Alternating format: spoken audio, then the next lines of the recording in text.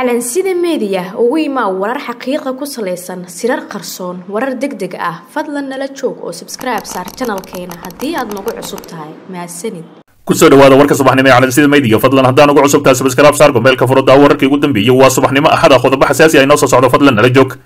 xog xasaasi a midowda musharaxiinta mucaaradka oo uu hanjabay madaxweynaha wakhtigu ka dhacay maxamed cabdilaahi farmaajo islamarkaasina baaq culus u diray soona dhoweeyey xilka qaadistii uu sameeyey ra'iisul wasaare roble. Golaha midowda musharaxiinta madaxweynaha ee soomaaliya ayaa war saxaafadeed ka soo saaray tallaabadii uu qaaday. Ra'iisul wasaare rooble xilalkii uu ka qaaday saraakiil ka tirsan hay'adda nisa waxay fariin u direen. Sidoo kale madaxweynaha wakhtigu ka dhacay maxamed cabdilaahi farmaajo ugu horrayntii golaha ayaa taageeray go'aankii uu ra'iisul wasaaruhu xilalka ugu qaaday madaxdii shaqaalaha ee hay'adda nisa cabdulaahi kulan jiis mareexaan iyo taliyihii nisa ee garoonka aadan cadde. Cabdiwahaab shiikh kuwaas oo sida lagu sheegay qoraalkani isku dayay inay si sharci darro ahi u hor istaagaan xaqa dastuuriga ah ee xurriyadda safarka iyo dhaqaaqa muwaadiniinta soomaaliyeed. Golaha oo ka duulaya marxaladda adag ee dalka uu marayo iyo xaaladda kala guurka ahi ee doorashada waxay ugu baaqayaan dhammaan laamaha kala duwan ee dowladda iyo shacabka soomaaliyeed in si wadajir ahi loo dhowro dastuurka iyo sarraynta sharciga qaranka lagana dheeraado wax kasta oo khilaaf iyo dib u dhac abuuri kara ayaa lagu yidhi bayaanka ka soo baxay golaha midowda musharaxiinta mucaaradka. Sidoo kale golaha ayaa soo jeediyey in tallaabada uu ra'iisul wasaare rooble uga hortagayo xayiraadaha sharci darrada ah ee ka dhanka ah xorriyadda safarka muwaadiniinta iyo mas'uuliyiinta soomaaliyeed ay noqoto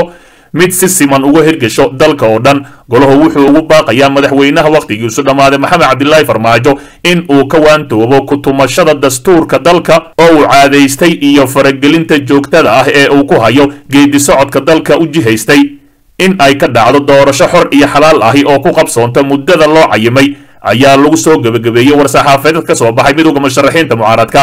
si kastaba ha ahaatee digniin ayay u direen farmaajo islamarkaasina waxa ay sheegeen inuu faraha kala baxo howlaha socdo ee doorashooyinka qaranka. Dhinaca kale wasiirka amniga galmudug axmed macalin fikhi oo qoraal soo dhigay bartiisa gaarka facebook ayaa ugu jawaabay senatar ilhaan cumar taasi oo si adag uga hadashay duqayntii maraykanka uu ka fuliyey gobolka mudug islamarkaasina dalbatay in baaris dhab ahi lagu sameeyo haddii ay jiraan waxyeello soo gaartay dadka shacabka ahi wasiir fikhi ayaa kula teliyey ilhaan cumar in aysan hiil u fidin kooxda al-shabaab oo uu tilmaamay inay dhibaato ku hayso guud ahaan shacabka soomaaliyeed. Walaasheen ilhaan cumar xisaabtanka gudaha hay'adaha dalkeeda waa u furan tahay balse waxaa habboon in ay ka digtoonaato in hadalkeedu u ekaado hiil ay u fidinayso argagixisada al-shabaab ee dhibaatada ku haya ummadda soomaaliyeed ayuu yidhi. Sidoo kale wuxuu shaaca ka qaaday inuu ku sugan yahay deegaanadii duqaynta laga fuliyey isaga oo xusay in keliya lagu burburiyey goobo ay ku sugnaayeen al-shabaab gaar ahaan meeshii laga soo abaabulay qarxii lagu dilay saraakiishii ciidanka ee qaybta kow iyo labaatanaad.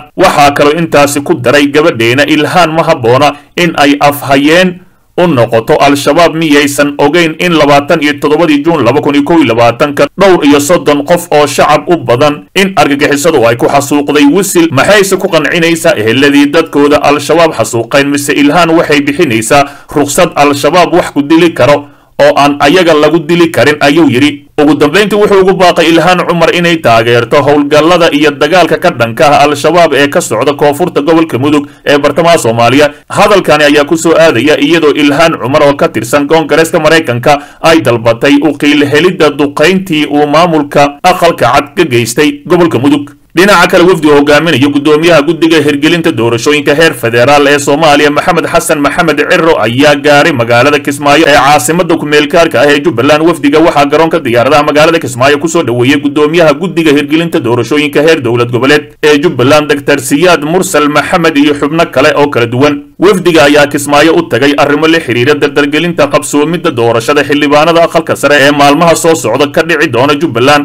Waxaa la filayaa in xubnaha guddiga doorashooyinka heer federaal ay la kulmaan madaxweynaha jubbaland iyagoo kala wareegi doono liiska musharaxiinta aqalka sare. Fadlan dib u daaw wararkeenii hore ee calansida meediya xog xasaasiya dagaal xooggan oo khasaare geystay oo ka dhacay magaalada muqdisho wararkii ugu dambeeyey ayaa ka soo baxaya. Warar kala duwan ayaa ka soo baxaya khasaaraha ka dhashay dagaal u dhexeeya ciidamo ka wada tirsan kuwa dowladda oo maanta ka dhacay qeybo ka mid ah magaalada muqdisho kaas oo geystay khasaare dhimasho iyo dhaawacba leh. Iska hor imaadka oo muddo socday ayaa ka bilowday isgoyska ex control afgooye kadib markii ay isku dhaceen ciidamo isku qabtay lacag laga qaadayay gaadiidka laga raro halkaasi inta la xaqiijiyey waxaa dagaalkaani ku dhintay afar qof oo shacab ahaa iyo laba askari sida ay warbaahinta u sheegeen dadka deegaanka. Wararka ayaa intaasi ku daraya in afarta ruux ee shacabka ay geeriyootay ay kala ahaayeen laba arday oo jaamacad u socotay haweenay goobta ku lahayd maqaaxi iyo qof kale oo la socday gaari b l ah oo xilligaasi marayay goobta uu dagaalka ka dhacay. Xaaladda ayaa haatan aad u kacsan waxaana meesha uu dagaalku ka dhacay ay noqotay meel lagu kala cararay waxaana ka jiray dhaqaaqyo aad u xooggan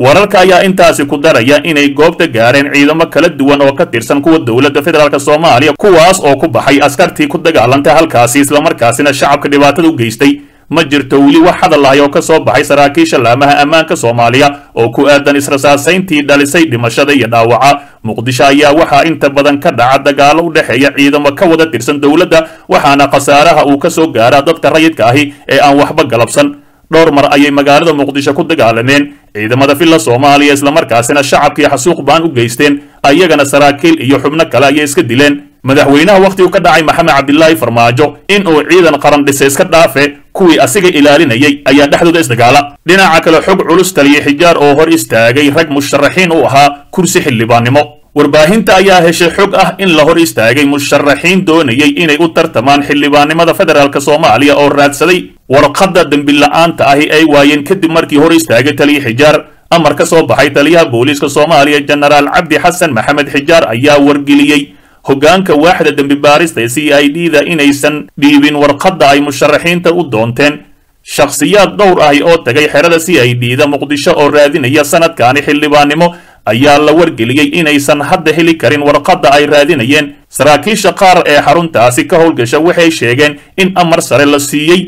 sidaa awgeedna aysan ogeyn xilliga la soo fasixi doono ilaa iyo hadda ma jirto wax ka soo baxay taliya xijaar uu kaga hadlayo arrintaasi lagu eedeeyey ee musharaxiinta xildhibaannimada ka hor istaagay maadaama ay warqaddaasi raadsadeen. Qofka aan haysan warqad dembi la'aan ahi kama mid noqon karo tartamayaasha oo murashax walba qasab ku ah. Arrintaas sida habraaca la soo saaray ay ku qoran tahay dhinaca kale madaxweynaha dowlad goboleedka hirshabelle cali xuseen guudlaabe oo weli ku sugan degmada cadale ee gobolka shabeellada dhexe ayaa halkaasi waxa uu kulan kula qaatay maamulka gobolka shabeellada dhexe iyo kan degmada cadale madaxweynaha ayaa kulankaani uga mahad celiyey maamulka iyo bulshada degmada cadale soo dhoweyntii ay u sameeyeen isagii madaxweynayaashii hore dalka. Sidoo kale waxa uu kala hadlay sidii loo dardargelin lahaa howlaha sugidda amniga iyo sidii looga shaqayn lahaa horumarinta deegaanada iyo degmooyinka gobolka shabeellada dhexe. Madaxweynaha dowlad goboleedka hirshabelle cali guudlaabe xuseen ayaa waxaa la filayaa in kulamada uu ka wado degmada cadale uu sii joogteeyo islamarkaasina uu la kulmo saraakiisha ciidamada midowda afrika ee amisom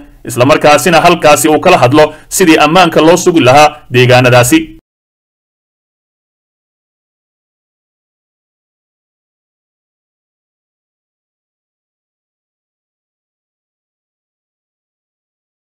dhegaystow ogow haddaadan xalka qayb ka noqon waxaad qayb ka tahay dhibaatada dalka